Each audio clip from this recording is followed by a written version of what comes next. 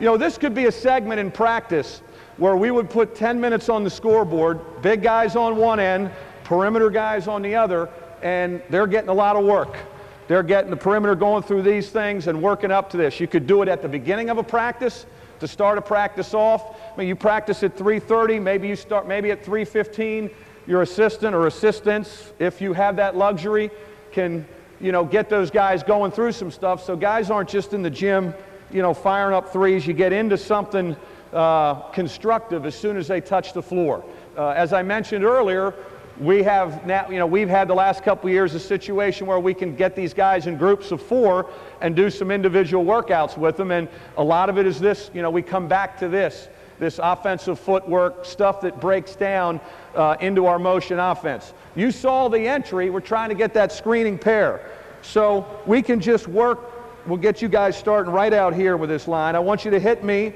I want you to set your guy up. Imagine there's a screen. And let's just get some curls where we got some stuff just to get the footwork of a curling action and we're coming into a like a short jump shot right in here all right here we go set them up a little bit coming off right in there very good and then stay on that other side we're going to come back to you on that other side so we're getting a lot of shots up in this 10 minute period but we're getting shots up you know that come within our offense come within our system footwork there that's it good setting them up coming off and curling there you go setting them up coming off, curling. Very good. Good. Now let's fade it. I want you to picture that guy going over the top of the screen. So you're fading to the corner on that situation. You got your jump shot right away on that. Here we go. Good. That initial screen, he's back out. Here we go. Stepping in. Guy tried to get over the top of that screen. He faded. Catching and facing. Fade to the corner even a little bit more. Good. Now, this time on the fade, I want you to shot fake one dribble because I want you to imagine that guy really coming out on you, all right? Catch and face first, slow it down. Good. Little shot fake.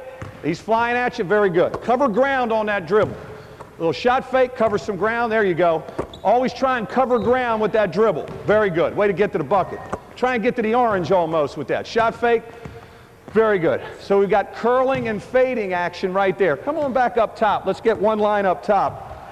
And then we just do a little drill with post feeds off of a shallow cut. So all he's going to do is start it with a shallow cut, and he's going to use the term shallow, even though there's nobody to shallow out. Get it down, take my spot in the post, down to the entry, one on zero, and just work on again the footwork of feeding the post, and then working along the three-point line, shot fake one dribble on relocation coming back out. All right, we'll get everybody on a relocation, shot fake one dribble. Good. Shallows to the wing. Looks.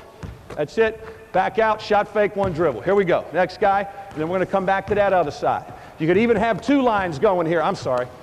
Bad pass. You could have both. Have a manager standing in the other post, and you got both guys going. Good. Good. One more there. That's it. Shot fake, one dribble. Good. Let's go this side. This time, let's get a three point shot off it, okay? It's coming back out. Have your feet ready. It's coming out. Good. Ready to shoot it. Good legs. There you go. Good post feed. Work on your pass. Good feed. Get your legs ready. Three point shot. Good. Right up. Step up. Knock it down. Again, getting shots in, but we're getting shots in.